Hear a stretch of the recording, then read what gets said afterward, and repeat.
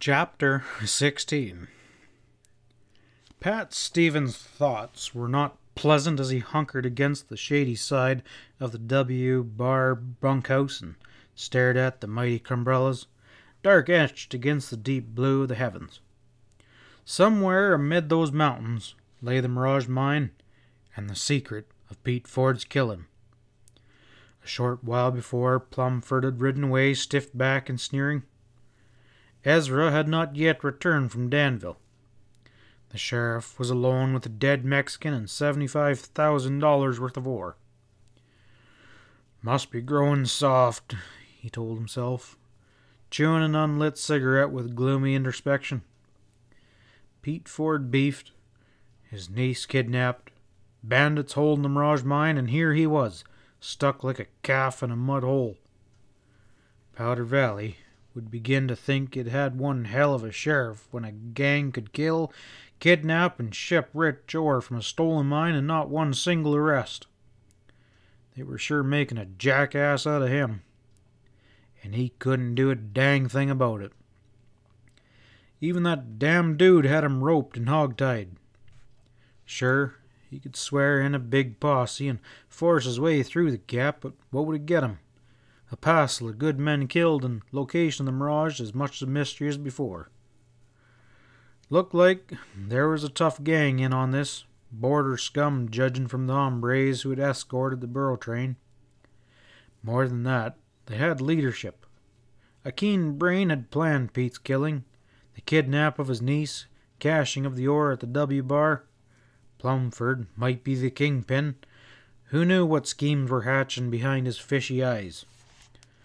Or maybe Todd Rakestraw, but somehow Todd didn't fit. The monk faced gambler was as crooked as a dog's hind leg, but he wasn't big enough to fill a leader's boots. Restless, Pat crushed his unlit cigarette beneath a boot heel and drifted over to the disused well behind the horse barn into which the ore had been dumped. The well was about four foot square, uncovered and framed by molding timbers. The sheriff stared down into its black depths and could see nothing. He toted an armful of hay from the barn and ignited it and dropped it to the bottom. The blazing hay hit bottom from twenty feet below. Peering over the edge of the well, Pat caught the glimmer of gold in the heaping rock as the flames rose high. Bill was right. This was the cache. Maybe there was more ore than the one consignment they had trailed. Chances were that dry hole held a fortune. The approaching drub of horses' hoofs pulled the sheriff back to the yard. Ezra, his one eye glinting with excitement, looped around between the trees. He peeled out a leather and slapped his mount on the rump, trotted over to the water trough. Ezra headed for the sheriff. How's Sam doing? inquired Pat. Oh, sick as a bug in a rug, snorted the big redhead. They got the runt tucked in bed at the Smelter Hospital with a female person nursing him. When he gets around again, he'll be so doggone spoiled there'll be no living with the Jasper. Say, Jim Moreland's in a tight. How come? There's a passel of toughs and two gun gunmen easing into Danville, and they sure took over. Shot up the Cosmopolitan and bored a bartender. Jim's stomping around like a bull with his tail tied straining his guts to raise a posse, but them gun toting gents got the whole town buffaloed. Jim said, Tell Pat they got a choke rope on me and to come a running. the Mirage, muttered Pat. I gamble every damn desperado in the Southwest is beating it this way. Before long, they'll be as thick as flies around a honey pot. Well, let's get going. Aren't you forgetting the ore?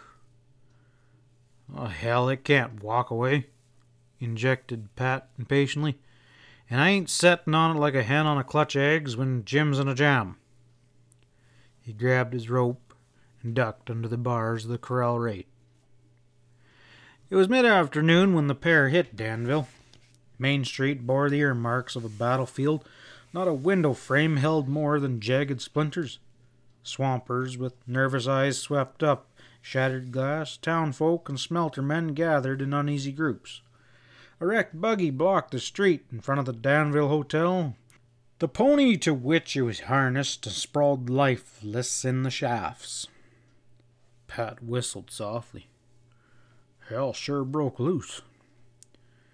They dismounted outside the town's marshal shack and walked in. Jim Moreland, heavy features grim, sat at his desk, shuffling through a stack of yellering reward notices with his left hand, the right hung limp, heavily bandaged. His eyes lit upon the sight of the sheriff. Well, God Almighty, Pat, he declared. I never seen the like of it. The wild bunch swarmed over town like hornets, and they sure couldn't sting. They heist the bank? interjected the sheriff. No, I got a dozen deputies inside, every one I could corral, and they've held the sidewinders off.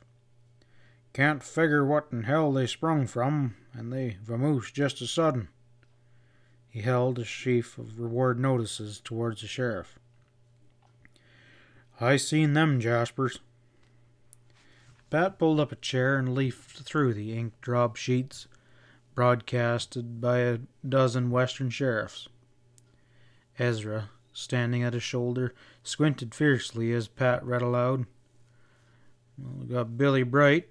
He's wanted for bank robbery. Dago Dutch, murder and train holdup. Tim Haley, holdup. Martin for murder. Tagos, also known as Thomas Taglin. Bank holdups. Hmm, he mused. How's pretty a bunch of buzzards ever dodged a noose? And you say they skedaddled? About an hour before he rode in. Reckon there was a dozen or more. They was heading south. Maybe the Mirage gang rode to town to liquor up, rumbled Ezra. Maybe, agreed Pat, rasping his chin. Well, there ain't gonna be any next time. How you feeling, Jim? Spry as a two-year-old, except for maybe this fin here. The marshal glanced ruefully at his useless arm. Well, you deputize every son of a gun who can tote an iron. Have 'em grab their hardware and get together some spot if the buzzards ride back. And then clean up. He scraped back his chair. Reckon I'll hunt up Carlyle, the smelter manager, and get his boys organized.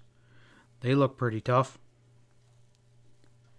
A ponderous wagon, wheels locked, skidded down the steep grade that snaked up the hillside toward the smelter as Pat headed for its gate. Eight horses, fretting in the traces.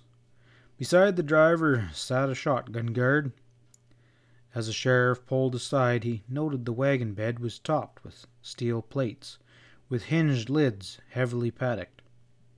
Silver bricks, he conjectured, en route to Hopewell, end of steel for shipment east. The clapboard yard office was darkened, its door locked. Pat hailed a, a rouseabout.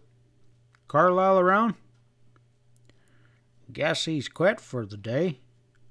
The laborer pointed across town. Behind the medley of shanties, a white painted bungalow sat prim and picturesque on a knoll. There's his shack. I reckon you'll find him there. Again, the sheriff hit leather and jogged downhill, skirting town and headed for the slopes. A neat picket fence surrounded the bungalow. Two wings of the house dropped back to enclose a patio. In the rear stood a white painted horse barn and small fenced pasture. Pat trailed his reins outside the house and mounted wide steps to a porch. Roomy rockers with gay colored cushions were sitting invitedly around. The sheriff rapped on the door. A Mexican youth in a starch white coat opened it. Is Carlyle around? grunted Pat. He felt uneasy in face of such luxury. Si, senor. The Mexican bowed and stood aside. Pat stepped into a spacious living room, expensively furnished. Colorful Indian blankets drabbed the walls. Well, well, Sheriff, is this an arrest? hailed a jovial voice. The smelter manager issued from a side room and moved briskly across the thick carpet, hand outstretched. Step into my den and have a sniffer. This is a bachelor's establishment, you know.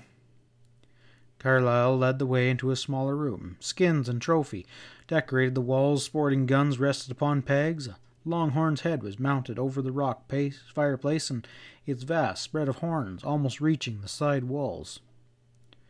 The manager indicated an easy chair and produced whiskey and glasses from a cabinet. He poured a stiff peg and handed it to his visitor, and served himself with equal liberty. Pat savored the drink. This was no gut rot. Carlyle gulped his drink and refilled the glass and sank into a rocker. I understand war was declared in Danville today, he smiled. The sheriff nodded. Yep. Gang of two gunmen took over. Guess they've amoosed. But we gotta get ready for the next time. Can your boys shoot? Carlyle shrugged. Oh, I could raise a posse, as you term it. Kano, I'll have Jim Moreland ride up in the morning. He'll get the townsfolk together, and you fellers can work out a plan to stop this scallyhootin'. The manager chuckled. Greet 'em with lead, huh? I'm with you 100%. May even take a hand myself. Always did fancy big game. He flipped open a box of cigars and extended it to his visitor. Best brand in town, except Plumford's. That dude Englishman imports his own from New York. The Englishman touched a match to his cigar. You acquainted with Plumford? Real well? he inquired. Carlyle shook his head. Oh, no one is. The fellow's as hard shelled and as close as an oyster. He's been cleaning up the gambling joints and handles cards like a magician. Had to fire him two weeks back. He was taking too much time off. Pat dropped the subject. Reckon you're quite a shot, he commented. He waved his hand at the trophies mounted thick on the walls, indicating a glossy bearskin. That there's a sure Jim Dandy. Oh, I downed him with one shot, returned the manager with well feigned modesty. I was out on that hunting trip when Pete Ford was killed. Where'd you bring the critter down? inquired Pat, sipping Carlyle's choice liquor with relish. That's the finest pelt I've ever seen. Oh, around Spanish Peaks. There's some real big fellers in that country. The sheriff emptied his glass and rose. Well, I reckon I better mosey along. Never tasted better liquor. The sixth sense which every man who rides hazardous trails develops in a greater or lesser degree to told Bill Williams that another rider had ghosted them as he jogged towards the gap and beneath the shadow of the wall. Twice his head swiveled uneasily, but he could see nothing in the deepening gloom. Still, the foreboding persisted. Finally, he wheeled around a projecting shoulder of cliff, hunched over the horn, and set himself to waiting. Minutes passed, and nothing broke the brooding silence. Guess I'm getting old and spooky, growled the rider, feeling for his tobacco sack. As he fashioned a smoke, the buckskin's ears pricked up. Bill dropped the makings and slid his six gun out of the holster and tensed. The faint rattle of shale, the click of an iron shod hoof reached his ears. In the graying light, a horseman blurred across his front not six paces distant. The hammer of his gun clicked back as it arched down. Stretch him, he rasped. A feminine gasp came in reply. Mamie checked her pony and thrust a restraining hand towards him. Don't shoot, Bill. Suffering polecats, he groaned. You again. It's a free country. Where are you heading to now? he demanded. For the gap. To tip Todd off that I'm breaking through. Caustically, he flung the accusation. You don't mean that, Bill, she replied in a subdued voice. Why else would you be back trailing me? You wouldn't guess, not with that lily fingered schoolmarm on your mind, she replied bitterly. I ain't trying. Bill's voice had brittled by annoyance. Head south, Mamie, and beat it. This ain't no place for a woman. Listen, Bill. Her low spoken tones quavered with urgency. They've set a trap at the gap. There's a pile of brush at this end. You'll you'll ride into the canyon without trouble, and then they'll fire the brush. You'll be trapped between the blaze and the gang. It's can't you see it's sure death? The squat rider listened with ill-concealed impatience. For God's sakes, light a shuck, he requested shortly. I don't need no female close herding me. Oh, you're you're a twin to a mule, she groaned. All right, you ride into the gap and I'll tail you, and then we'll both be shot. Bill glowered at her with dim features that were baffling anger. Here was a contingency he had never bargained for. A pony nickered out on the darkened plain. The buckskin lifted its head to reply. Bill lunged forward and clamped down on the pony's nostrils. At a canter, a compact bunch of riders swept past and were swallowed by the shadows. Who in the hell that? ejected Bill. The argument with Mamie Rakestraw erased by this bewildering development. We could drift along and find out, she replied coolly. They're heading for the gap. Without further word, he heeled his pony. The girl pulled up beside him. For a while, they rode in silence, stirrup to stirrup. A gunshot punched through the night, and Bill set spurs to the buckskin. The pony leapt forward, its rider searching the veil of darkness ahead. Mamie held her place beside him with ease. The terrain roughened. Huge fragments of rock littered the ground. The ponies swerved as they dodged obstacles. A black chasm yawned to their right. The gap! shrieked Mamie. Hold it! But Bill gave the rein to his racing pony. A white light blossomed in the mouth of the dark canyon towards which they were pounding. Dark figures darting around a huge pile of dry brush, and the flames licked high, crackling through the dead wood with lighting that was rapidly spreading. In seconds, a blazing barrier of flame blocked the canyon's entrance. Bill jerked his pony to a sliding stop. The slumbering echoes were savagely laced awake by the roar of gunfire, booming 45s mingled with sharp cracks of Winchesters. Through the din, the shrieks of dying men cut like jagged knives. Voiceless, the two sat their saddle, staring in fascination at the grim canyon mouth, with tongues of fire wreathing up like glowing serpents between giant walls. Slowly, the ragged inferno subsided, and the gunfire slackened and the shouting died. The quick burning brush blackened in ash, and then glowed with emerald sparks. Silence clothed the canyon. Mamie swung towards Bill, who sat like a statue, eyes riveted on the glowing embers of that gigantic bonfire. Well, do you still crave to ride into the gap? Holy rattlesnakes, he breathed. I gather they cleaned out the whole passel.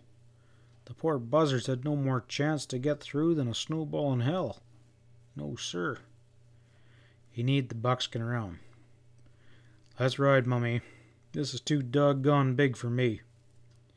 He jerked around and dabbed for his gun as a rider materialized out of the gloom. Well, well, friend Williams, came the Englishman's high pitched drawl. Fancy meeting you here. Quite a show, eh? End of chapter 16.